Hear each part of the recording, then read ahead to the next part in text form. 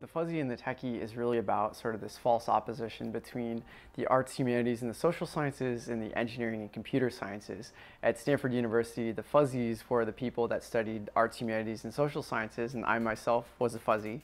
Uh, you know, and it was really about this kind of false opposition between the two sides.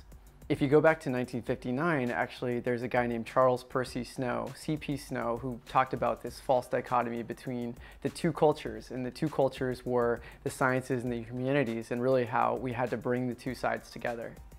So as somebody who studied political theory, international relations, yet worked at Google, at Facebook, and as a partner on Sand Hill Road, where my job was to evaluate startup entrepreneurs, um, having met with around 3,000 companies, it was the overwhelming observation that this uh, narrative about Silicon Valley was off. And it wasn't always the techies who were starting the great companies. Oftentimes it was the fuzzies. It was people with a passion for a problem, really deep context and understanding for what they wanted to solve, partnering with the technologists to create the code and, and build the startup. But really it was about bringing these two sides together, both fuzzy and techie. We live in a world where this drumbeat of STEM education, science, technology, engineering, and math has really sort of taken over the, the narrative. And uh, you know, while code is really important, I think we've lost this perspective on context as well. Where we apply the code, why it's relevant, why we're building technology in the first place. You know, we live in this world where uh, there's so many buzzwords like big data, like machine learning, artificial intelligence, robotics. Um, taking a step back, we forget that it's about how we apply these tools. You know, on their own, they're not good or bad, um, but it's the humans behind them that imbue them with these qualities.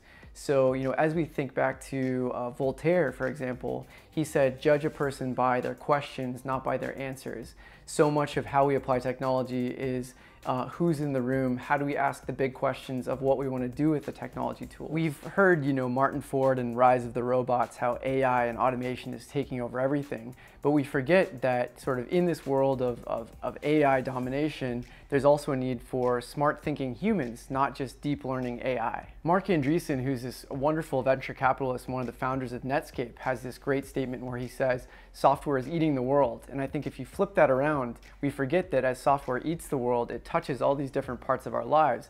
And that means that we need more people from more diverse backgrounds, more methodologies, more academic backgrounds contributing to technology and bringing their lens and perspective to bear on what we build. So much we talk about JavaScript and Python and all the new coding languages, um, but we forget, you know, we need to have Joyce scholars also learning JavaScript and we need to have Python developers also reading philosophy. It's not about one or the other. It's about breaking down the barriers and giving people the skills that they wouldn't otherwise have. So taking someone technical and giving them the skills in, uh, in philosophy or, or, or, the arts and taking somebody who wouldn't otherwise take a coding class and teaching them how, you know, the, the very basics of, of coding and STEM literacy there's this concept that education is a one-way ticket to a certain place, that it's a relevant degree or it's an irrelevant degree. That if your degree says computer science, it means you're free in the future.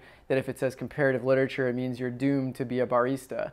And in fact, we need to think about education uh, not as a one-way plane ticket, but as a passport where we need to collect stamps from all these different places. So if you are an English major, take a data science class, take a coding class. But if you're an engineer, you know, think about taking a literature class, think about taking a class in philosophy.